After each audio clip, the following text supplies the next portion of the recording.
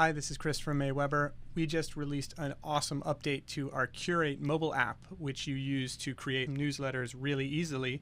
And I wanted to show you um, how easy and fun it is to create a simple newsletter on an iPad or tablet.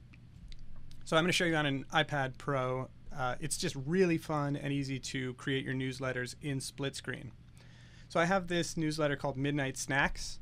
Um, the feature that we released specifically right now is the ability to schedule your messages. So I thought it would be fun to pick a time of day and create a newsletter around sending at that time. So I made a newsletter that is going to send out at midnight. Included in the newsletter is going to be one story and one snack recipe in the middle of the night. So here's an example of what you might get. You know, there's a recipe, there's a story, and it's just, it's really simple. So in Curate, which is over here on the right, uh, I have my sub subject line already, midnight February 24th, and you can see there's uh, an emoji there that gives some insight into the content. Uh, it won't seem as weird in a second. But the first thing I'm going to do is intro my newsletter. So I'll say something like, uh, Happy midnight, folks. That's how I start, start all of these newsletters.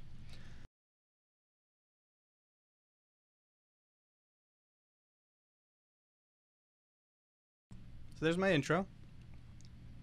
Now here I have it. And if I preview the message right now, I could send this if I just wanted to send a text email to my list, but I'm not going to do that. I'm going to add a couple things.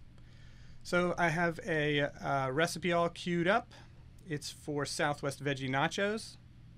And uh, with a simple push, I'm going to curate that story here. And I'm going to customize this text a little bit just tap in here and go, um, uh, this recipe is perfect for dance parties or uh, how about for eating alone while watching cartoons in the middle of the night.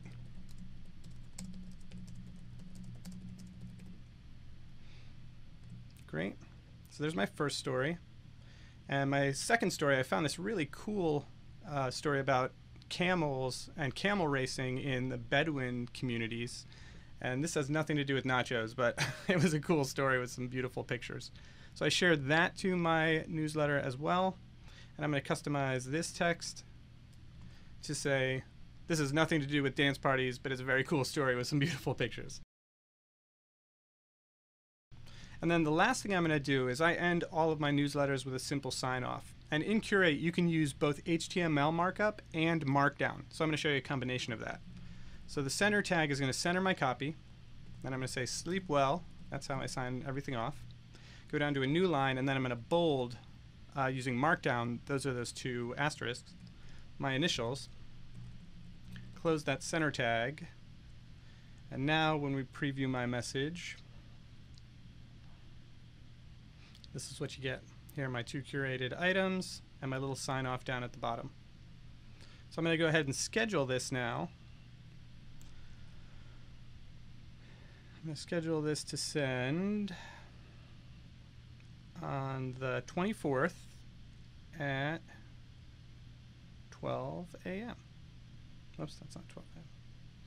There you go. And now it's ready to schedule. Uh, I might dive in and play around with this a little bit more to refine it, but that's it. I am ready to send my uh, midnight February 24th newsletter, and people are going to love it. I hope you play around with Curate. If you do, uh, reach out to us at AWeber, leave a comment in the comments, and let us know what you made. Have fun.